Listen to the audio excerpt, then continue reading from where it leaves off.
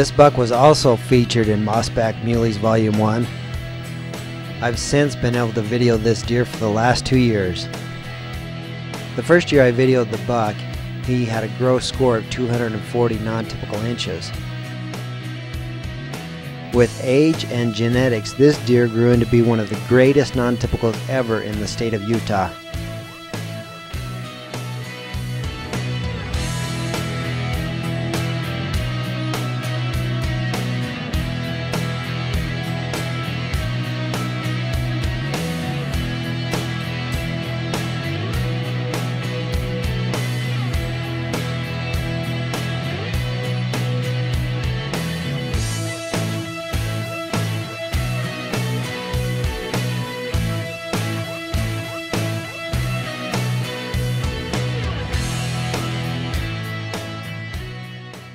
Here we are with this great mule deer.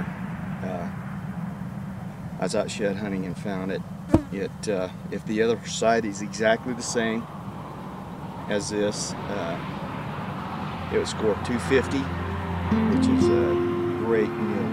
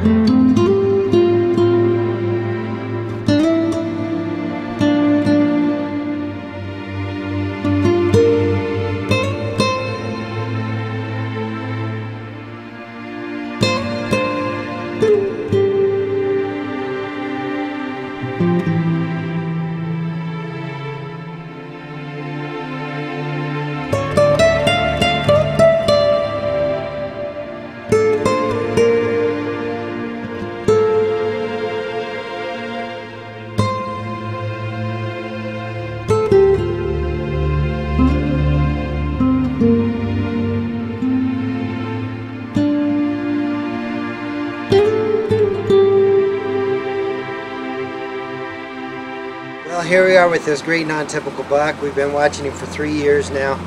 He was shot during the archery hunt, but it was not recovered until after the season was closed.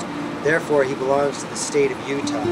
This great deer has 22 inches of mass. He's 35 inches wide.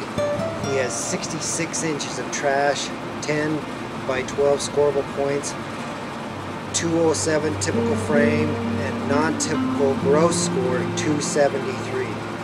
Just a monster from Utah. Here's this great buck in 1998. He grew from this to 273 inches in four years. We bid farewell to one of Utah's greatest.